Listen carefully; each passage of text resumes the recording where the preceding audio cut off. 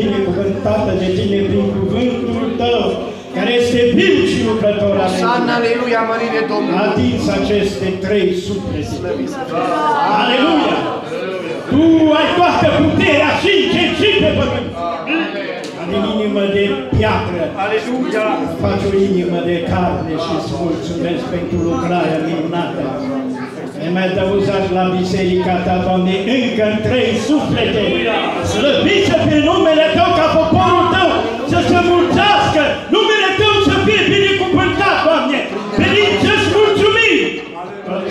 lucrare măreață. Te rog în continuare să le scrii numele în carte.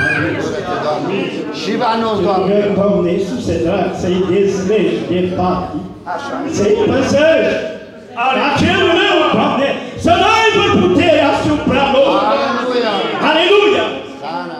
Fă ca cuvântul Tău, fă ca puterea divină să cerceteze mâna lui Dumnezeu să fie peste ei, să-i păzești, Doamne, să-i protești. Aleluia!